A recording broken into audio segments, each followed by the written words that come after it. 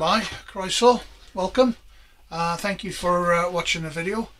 Um, it's my second in, in quick succession uh, because I've had a bit of luck today and I managed to do everything I needed to do um, to get my layout actually all the switches that I've laid are now working and working properly so um, I've had a bit of help with that um, a friend from down the road Ian uh, Mike he um, he came up to help me and that extra pair of hands uh, did wonders. And he's got a lot of experience. Uh, he's recently moved into the village and he's a double O man he's going to put his layout out uh, in his garage 30 40 years. He's been doing it. So he with his expertise and, and advice uh, for a beginner like me it was uh, very valuable.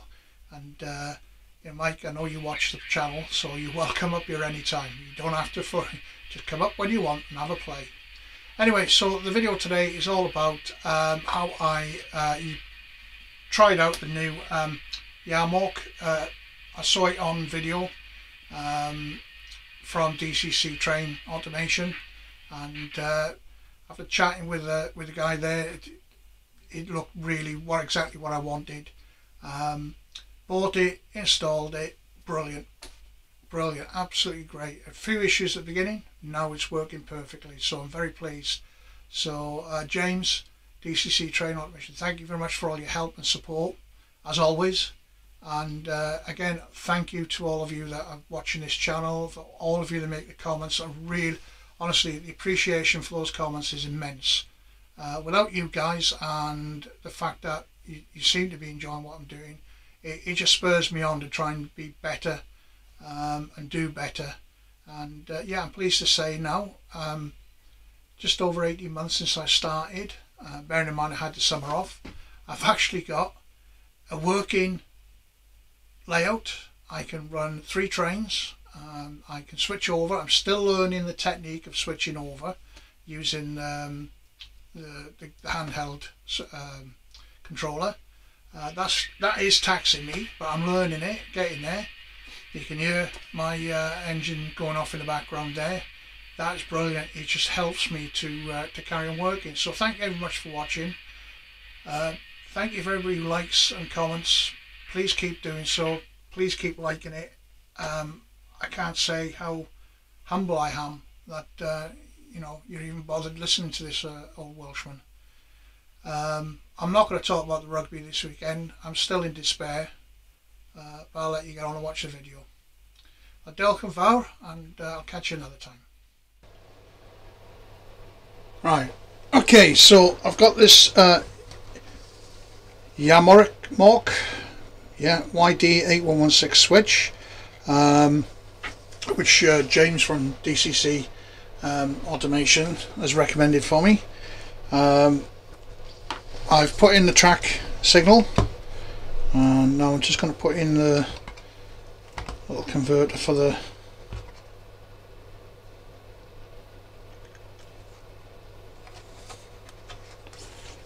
I don't know if you can see what I'm trying to do here. Um,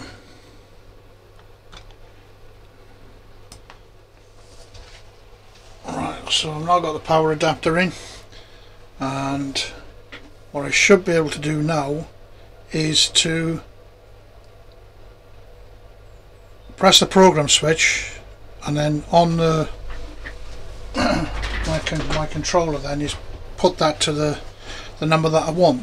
This is supposed to be all you have to do is once the power is connected you got your, your, your line into your um, track.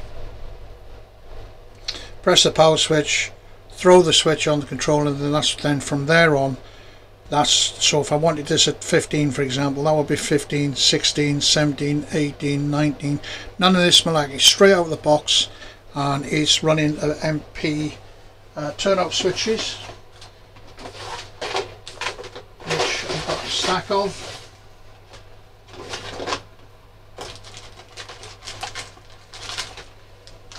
Uh, I'm using these because apparently they have their own on off switch so you don't have to program them like you do with the DRs or anything like that.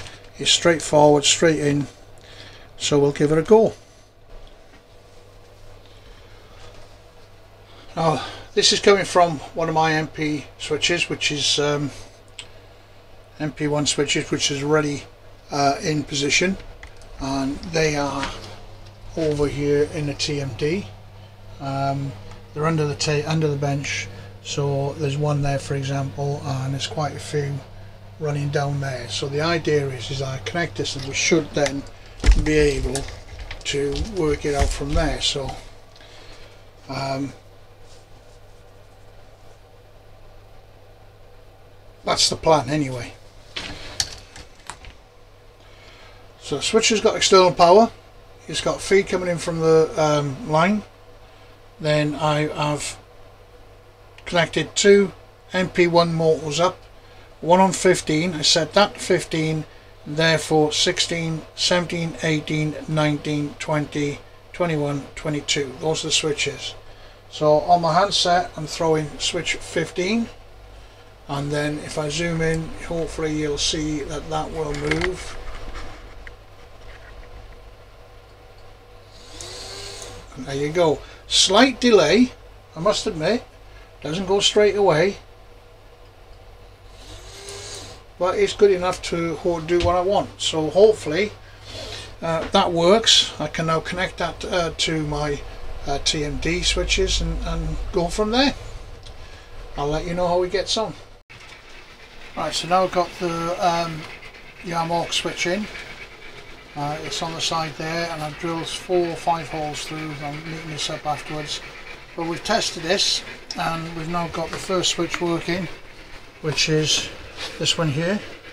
That'll switch over now using the controller. And then um, we called it a day because we were trying to get the second switch in and we weren't getting anywhere so frustration crept in so give it a rest so I've come back in today and uh, I went back to one that I fitted last year um, which is the line, the switch up here which takes the line through the tunnel or through to the um, valley. Problem is I couldn't get it working. So I ran I had the wires underneath and then I realised that I'd actually set this up. This is the very first one I'd done. And I set this up to as if I was going to put in um, a point where you had to power up the frog. So there was uh, two yellows and a blue running from it and, and then I had the black green and red. And for some reason um, I must have put them in wrong because when I wired up the black green and red which is what I normally do hang on here he comes. Um, I connected it.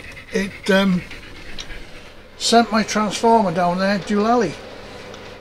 So quickly unplugged it smell of burning that's now buggered swapped it all for another one. Still couldn't get it working. Then I thought I'll have a look at this but of course I've glued all this in thinking I've done it foolishly. Lessons learned. Then I realised yeah this is what I've done. I've wired it up wrong. These three should go to the first three and them three should go to the last three. So now I've had to swap it all over. I've put these in now. It now works perfectly. Quite happy with it. So now I've got to put it all away um, and wire it up. But why I did that a year ago I can't remember. Probably because I'm new to the game didn't know what I was doing trying to follow instructions and not realise I was doing it wrong. But there you go. But it works so um, we'll crack on. Get that sorted out and back into place. But what an idiot I feel. There you go.